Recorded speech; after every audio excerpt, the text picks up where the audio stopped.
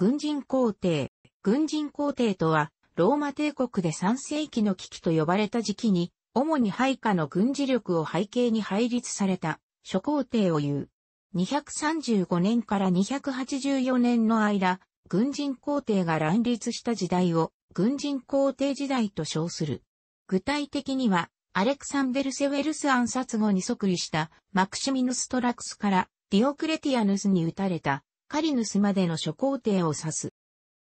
元老院が容認した皇帝だけでも前半の33年間、235年から268年に14人が擁立された。さらに、各地の実力者がローマ皇帝号を戦勝することも多く、結果として皇帝の権威が失墜、また定位が頻繁に入れ替わるためほとんど内乱と変わらない状態が長期間続き、これにより、ローマ帝国の国力は弱体化した。古代ローマにおいては、共和制の時代より、国家の最高指導者がすなわち前線に立つ軍司令官であった。共和制の時代においては、二人の執政官がこの役目を担った。執政官が二人であることから一人は、軍司令官として前線に赴いても、もう一人の執政官が内政を取ることができ、また二人の執政官が同時に軍司令官として前線に立たねばならない場合にも、代わって内政を担当するのは誰であるかの序列も決まっていた。一年間という執政官の短い任期も、国土の狭い時代には問題なく機能した。しかしながら、古代ローマが地中海世界全域を支配する巨大な領域国家となって、以降は一年の任期の執政官による統治と軍事式というシステムでは機能しなくなった。帝政に移行後も国家の最高指導者と前線に立つ軍司令官が同一人物であるというシステムはそのまま継承された。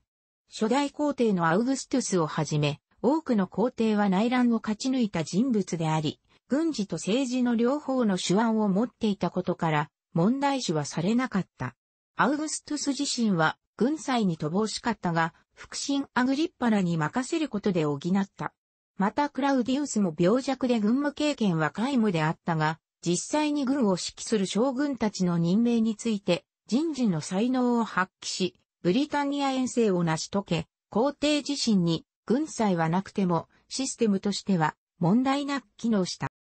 しかしながら、ローマ帝国がたびたび外敵の侵攻にさらされる時代になると、国家の最高指導者と前線に立つ軍司令官が同一人物であるというシステムには弊害が見られるようになった。しかし、終身の存在である皇帝は、おいそれと鋼鉄ができる存在ではなく、軍司令官として無能さを露呈した皇帝を排除するには、反乱、クーデター、暗殺という非合法な強行手段に出る以外に託しがなくなってしまったのである。また軍司令官である以上、戦士、敵の捕虜になるという事態は、当然のこととして起こり得るものであり、その度に皇帝を選び直さなくてはならない事態が生また。また、選出手段が決まっていた市民集会の選挙執政官と違い、皇帝の場合は選出手段が定められておらず、これも混乱の原因となった。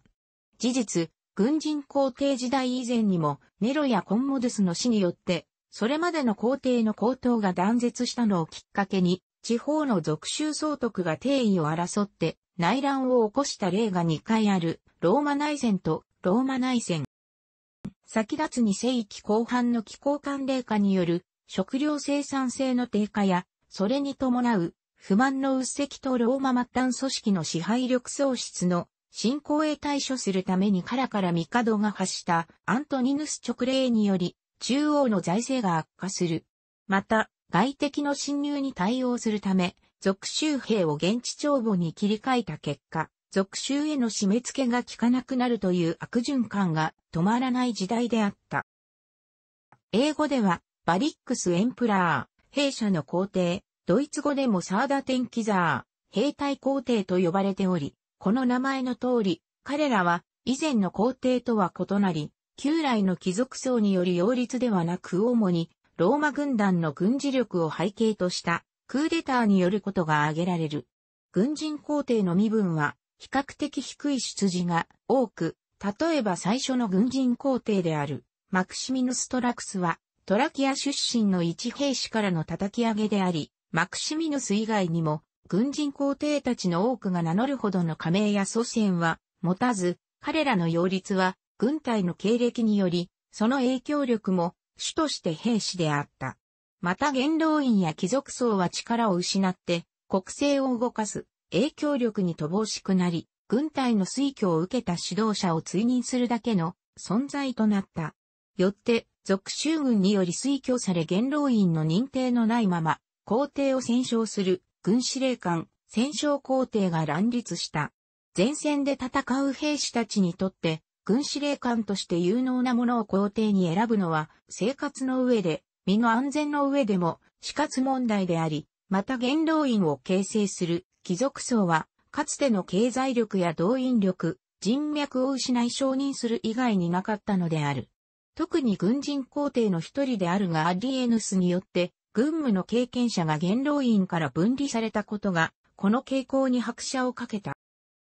しかし、軍人皇帝たちの多くは、ローマ帝国国境の軍司令官であったため、帝位の交代のたびに国境防衛に空白を生み、防衛能力の弱体化を招いた。また、ガリア地域における民心の離反と支配力喪失によりゲルマン人の侵入を容易にし、結果としてアウレリアヌス・ミカドが再びローマに城壁を築くほどであった。皇帝の要件は、ローマに対する中心を失った知識層や民衆の支持ではなく、相対的に高まった軍属、兵士の支持と他の属州軍団に立ち勝る軍事力あり、これがなくなると県で取った権力を県によって失うことになった。また、それぞれの属州において兵士がそれぞれ皇帝候補や戦勝皇帝を擁立し、それら皇帝候補者の争いによる軍閥内の争いも馬だ。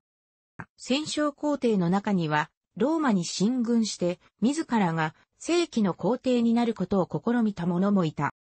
ガリアを基盤に自立して260年に皇帝号を戦勝したポストゥムスは、その地において事実上の独立国家を作り上げた。これがガリア帝国と通称されている。また、東方のパルミラにおいては267年に女王と称されたゼノビアが自らの息子、ウアバンラトゥスを擁立して皇帝号を戦勝させ、ここでもパルミラ王国と通称されている事実上の独立国家成立した。これにより、ローマ世界は本体の帝国とマリア帝国とパルミラ王国に散分されたことになる。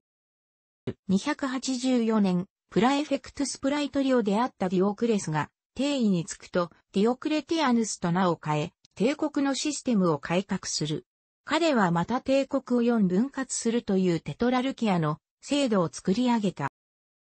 軍人皇帝時代は、皇帝の背景には軍事力が欠かせない要素ではあったが、その後の皇帝には軍事色が薄くなっていく。ドミナートゥスへと帝政を転換させたディオクレティアヌスやコンスタンティス一世などは皇帝権力を強化し、自らも兵を率いたが、その後は、軍務は例えばスティリコのように、マギステルミリトゥム、軍司令官が行い、彼らが帝国の運営の担い手となってゆく。そして西ローマ帝国では、皇帝はホノリウス帝のように権威色が帯びるものの実際の政治的主導権は一層薄い存在となっていき、最後には傭兵隊長のオドアケルによって西ローマ皇帝は廃されて死ぬことになった。